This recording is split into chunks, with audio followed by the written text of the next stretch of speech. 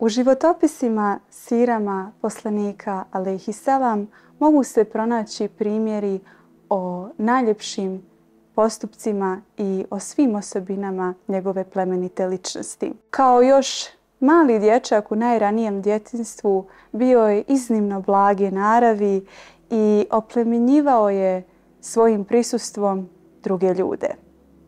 Kako je rastao i stasavao, poslanik Aleyhi Selam je sve više učvršćivao svoje osobine. Kada pogledamo ovakve životopise, zaista nije bilo prostora za pogrešku.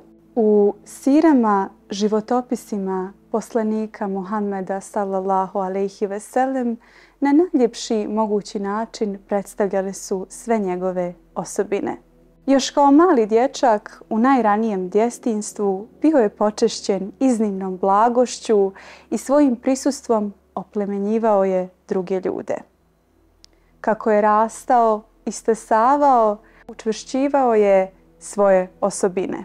Čak ni trenutak nakon objave poslanstva, kada se poslanik Alehi Selam uistinu suočio sa ogromnom odgovornošću, uzvišeni Allah je, raširivši njegova prsa, olakšao mu i posebno ga nagrađivao za sva njegova iskušenja. Kada kažemo da u ovakvim životopisima u istinu nije bilo prostora za pogrešku, kako to da nas ipak poslanik Alehi Selam može podučiti činu priznanja vlastitih pogreški? Događaj koji se vezuje za ovaj primjer jeste istinit i ujedno povod i sebeb objave kuranskih ajeta sure Abese, odnosno namrštio se.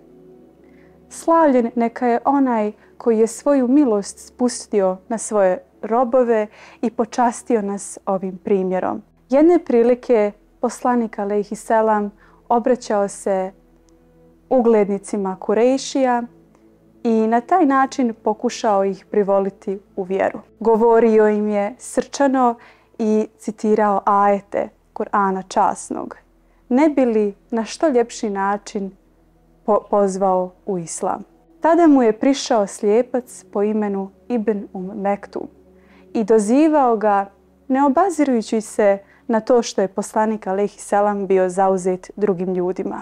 Govorio je, o Allahov poslaniće, poduči me onome čemu te je Allah podučio. Poslanik Alehi Selam mu je zaista zasmetao ovakav postupak i nije shvatao zašto to slijepac ne odustaje od dozivanja poslanika Lejsela. Na njegovom licu mogao se nazirati trag nezadovoljstva i negodovanja, te je u sebi izgovorio.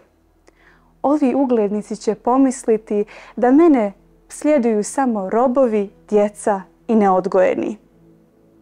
Zato je se okrenuo i namrštio od slijepca.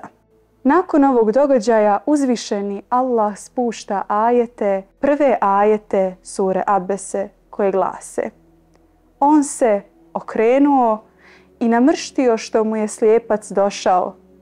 A šta ti znaš? Možda on želi da se popravi.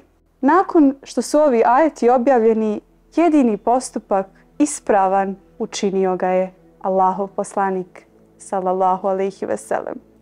A to je sljedeći put kada je susreo slijepca, obratio mu se sa najljepšim riječima. Neka je svako dobro onome zbog koga me je Allah ukorio. I zatim ga upitao, treba li ti bilo šta od mene? Intencija objave ovih ajeta kao i kompletnog kuranskog poziva jeste da se istakne kako će oni koji se budu odazivali pozivu biti uzdignuti, a kako će uniženi biti oni koji glavu okreću. Kada analiziramo postupak našeg poslanika, alaihi selam, shvatit ćemo da imamo dva koraka kojima se možemo voditi u svojim životima. Prvi korak jeste osvijestiti i prihvatiti vlastitu pogrešku, a zatim drugi učiniti sve što je u našoj moći da ispravimo prvi. Zar to uistinu nije lijep primjer? Zar nam nije poznato kako dobra dijela brišu loša kao što kiša gasi vatru?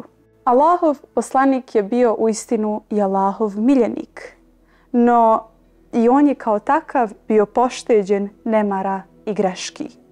No zar mi u svojim životima nemamo primjera kada nas je to Allah uzvišeni spasio i uputio? Baš poput našeg uzora trebali bismo usvojiti kako je ovaj primjer uzdizanja nakon pogreške zapravo jedan od glavnih imperativa naše vjere koji je prožet u svakom kuranskom ajetu od prvog do posljednjeg.